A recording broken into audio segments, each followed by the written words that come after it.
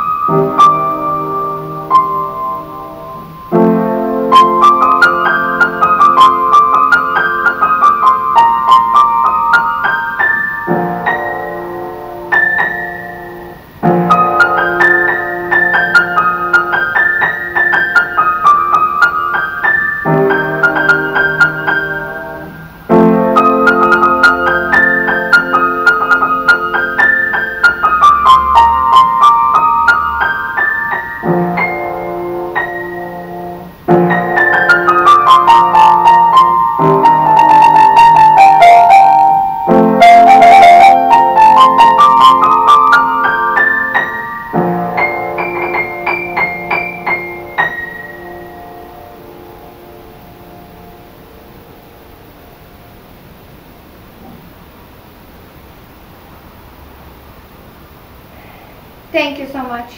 Dziękuję bardzo.